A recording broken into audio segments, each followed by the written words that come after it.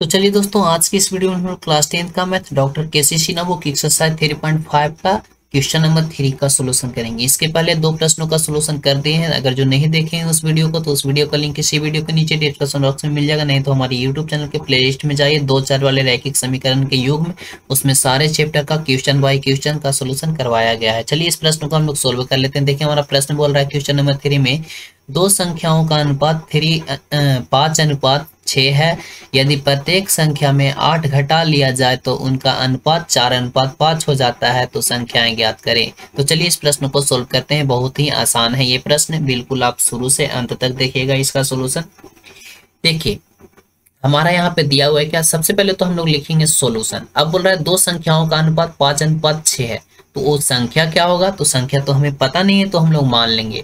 तो लिखेंगे सबसे पहले माना कि। अब मानना यह है कि पहली संख्या का अनुपात जो होगा वो एक्स होगा। क्योंकि हम लोग को दिया नहीं है, इसलिए हम लोग का ये रूल है कि पहली संख्या जो नहीं दिया उसे मान लीजिए।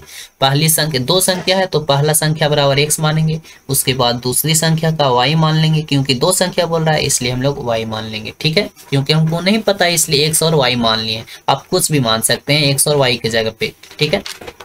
अब यहाँ पे चलेंगे प्रश्न से, लिख दिए प्रश्न से। अब यहाँ पे देखिए, बोल रहा है दो संख्याओं का अनुपात पाँच अनुपात छह है तो दो संख्या हमारा कितना है? एक्स और वाई है तो इसका अनुपात बना लेते हैं सबसे पहले तो हमारा हो जाएगा एक्स बट्टा वाई। ये हो गया हमारा अनुपात। अब इसका अनुपात कितना है? तो पाँच अनुपात छह है, यानी कि पाँच बट्टा छह है। ये हमारा कहाँ से आया? पाँच अनुपात छह, ये प्रश्न से आया। यहाँ प्रश्न में बोल रहा था, अब इसको थोड़ा सा आप सोल्यूशन भी कर सकते हैं। तो तीछा तीछी गुना करेंगे तो सिक्स एक्स हो जाएगा और इक्वल टू हो जाएगा फाइव वाई अब इसको बराबर के इस साइड लाएँगे तो सिक्स एक्स और माइनस में पाँच वाई और बराबर में ज़ीरो कर सकते हैं। ये हो गया हमारा समीकरण फ़र्स्ट ठीक है? अब यहाँ पे चलेंगे फिर से पुनः। सॉरी हाँ अब चलेंगे यहाँ पे क्या? लिखेंगे पुनः प्रश्न में ही चलेंगे। पुनः प्रश्न में ही देखिए बोल रहा है, यदि प्रत्येक संख्या से आठ घटा लिया जाए तो संख्या हमारा कितना है? अनुपात वाला। एक्स बट्टा वाई है तो यहाँ पे लिखेंगे एक्स बट्टा वाई अब बोल रहा है, प्रत्येक में, यानी दोनों में से आठ घटा लिया जाए तो माइनस देंगे आठ और नीचे में भी माइनस आठ। तो हमारा संख्या का अनुपात जो होता है, चार अनुपात पाँच हो जाता है तो बराबर में हो जाएगा चार बट्टा पाँच। ठीक है, अब इसको सोल्यूशन कर लीजिए तो हो जाएगा हमारा यहाँ पे कितना? पाँच एक्स माइनस आठ बचे चालीस, और इक्वल टू यहाँ पे तीसरा तीसरी गुना करेंगे तो चार वाई और माइनस आठ चौको बत्तीस। ठीक है अब यहाँ पे पाँच एक्स हो गया, इधर में क्या है? प्लस में इधर मिलाएँगे माइनस में चार वाई हो गया, इधर में है माइनस चालीस। और ये आ जाएगा इधर में प्लस में बत्तीस और इक्वल टू हो जाएगा ज़ीरो। अब यहाँ पे हो गया पाँच एक्स माइनस चार वाई और यहाँ पे हो जाएगा कितना? घटाएँगे तो आएगा माइनस में आठ और इक्वल टू आ जाएगा ज़ीरो। ये हो गया हमारा समीकरण दो। ठीक है, अब हम लोग समीकरण फ़र्स्ट से सोल्यूशन करना शुरू करेंगे। आप ये हमारा समीकरण तो निकल गया फ़र्स्ट और दो। मतलब आप इसको किसी भी विधि से लगाकर इसे एक्स और वाई का मान निकाल सकते हैं प्रतिस्थापन विधि से, विलोपन विधि से प्रजगुणन विधि से। सबसे इजी विधि होता है हमारा विलोपन विधि तो इसको चलिए हम प्रतिस्थापन विधि से हल करके बता देते हैं। चलिए इसको प्रतिस्थापन विधि से हल करने के लिए सबसे पहले लिखेंगे समीकरण फ़र्स्ट से।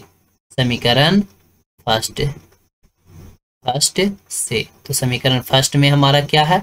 सिक्स एक्स माइनस पाँच वाई और इक्वल टू है ज़ीरो ठीक है? तो यहाँ पे x का मान निकाल लेंगे तो सिक्स एक्स और इक्वल टू इधर में इसको भेज देंगे तो क्या हो जाएगा? पाँच वाई प्लस में हो जाएगा। तो x बराबर जब आप यहाँ पे निकालेंगे तो आएगा हमारा कितना? पाँच वाई बट्टा छ ये हो गया हमारा कितना? y का मान निकल गया। अब हम लोग यहाँ पे चलेंगे क्या? x का मान तो हमारा यहाँ पे आ गया है पाँच वाई बट्टा छ तो अब हम लोग इसको क्या करेंगे? समीकरण दो में रखेंगे। तो लिख लेंगे आप यहाँ पे। क्या लिखेंगे? एक्स का मान समीकरण दो में रखने पर। तो लिख लेंगे एक्स का मान समीकरण दो में रखने पर। दो में रखने पर। चलिए, अब समीकरण दो हमारा यहाँ पे कितना है? पाँच एक्स है। तो पाँच हो गया एक्स के जगह पे हमको रखना है पाँच वाई, बट्टा में रखना है छ और यहाँ पे है फिर समीकरण दो में माइनस चार वाई तो माइनस चार वाई हो जाएगा, माइनस एट और इक्वल टू ज़ीरो अब इसको थोड़ा सा क्या करेंगे? सोल्यूशन कर लेंगे।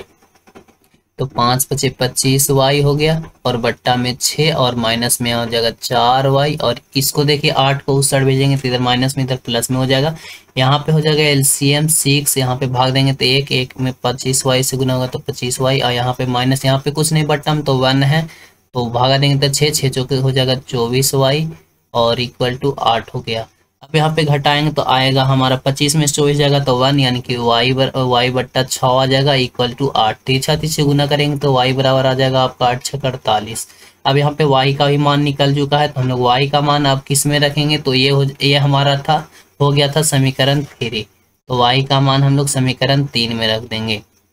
तो आप यहाँ पे लिख सकते हैं वाई का मान समीकरण तीन में रखने पर वाई का मान समीकरण तीन में रखने पर, तीन में रखने पर।